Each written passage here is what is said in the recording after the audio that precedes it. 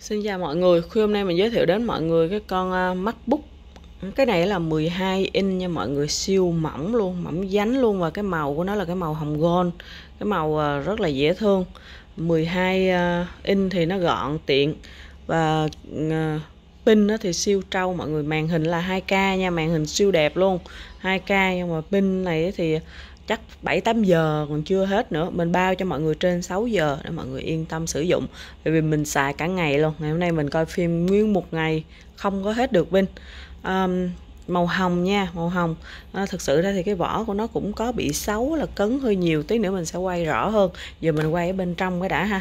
12 uh, in nó gọn rồi nó mỏng kinh khủng luôn mọi người ở bên trong. Đây, cái màu hồng gold nè mình không biết quay sao cho mọi người xem. Đây nè cái màu hồng gold. Cái mặt này thì nó đẹp tuyệt vời luôn không hề bị bóng bị gì luôn nè mới sao là nó như vậy luôn á. Test phím rồi đầy đủ hết nó gọn mọi người phím nó tràn ra ngoài. Đẹp đẹp và đẹp ha cái quan trọng là pin pin xài lâu pin bao cho mọi người trên 6 tiếng.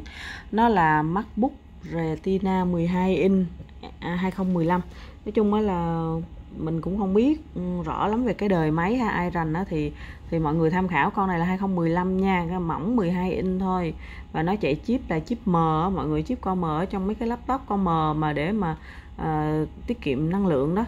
RAM 8 GB SSD là 256 GB này cũng ok quá mọi người.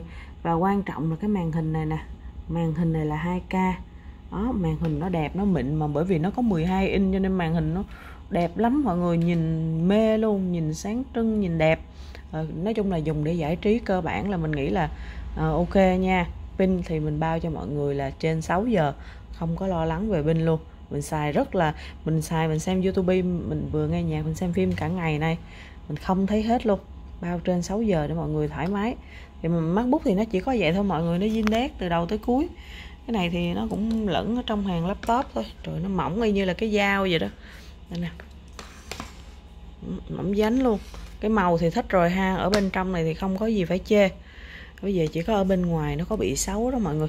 Đầu tiên là cái táo thì nó cũng đẹp nè. Cái màu cái màu hồng. Thực sự cái nhà của mình mình không biết quay sao để cho mọi người thấy được cái màu gold hết trơn à, bây giờ mình à, đây là cái này là sạc nha mọi người. Và trên cái này nè trên cái phần vỏ này là có bị cấn trầy tùm lum nè mọi người. Cấn trầy nha.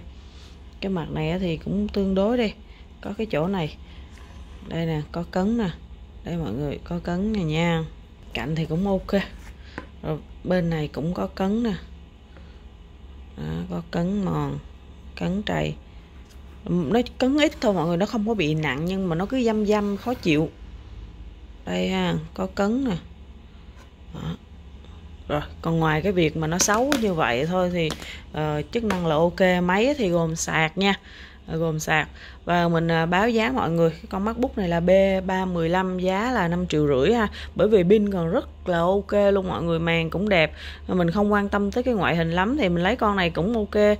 Giải trí nó vừa sang, nó vừa đẹp nữa mọi người. Có mọi người, nhiều ai chốt thì inbox mình nha.